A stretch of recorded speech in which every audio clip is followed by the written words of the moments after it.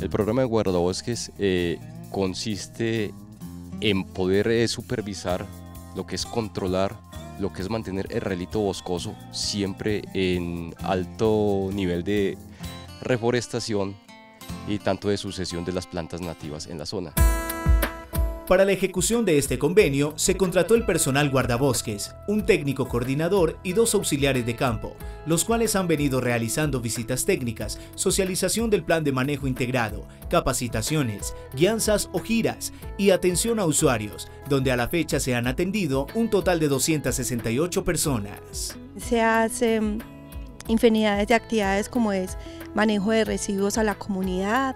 eh, si alguien se, eh, tiene quejas pues como por malos olores, vamos a las fincas, les enseñamos a hacer el manejo de compostaje, estamos pendientes de los vertimientos de agua, de igual manera estamos ah, manejando pues lo que es usos de suelos, porque estamos eh, manejando tres usos pues de suelos que es uso sostenible, conservación y preservación, que son como unos agentes reguladores de toda la montaña para que se preserve. Nosotros, ¿por qué somos importantes? Porque debe haber un ente que vigile y controle como todos los procesos urbanísticos, eh, de talas, de cacería, de control de fauna y flora dentro del mismo área protegida para que la gente que vive y viene y disfruta del área protegida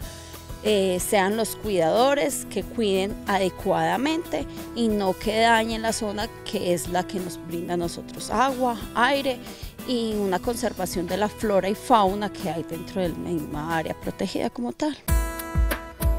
De esta forma, Itagüí conserva y fortalece las 326 áreas protegidas con las que cuenta y salvaguarda las especies que allí habitan.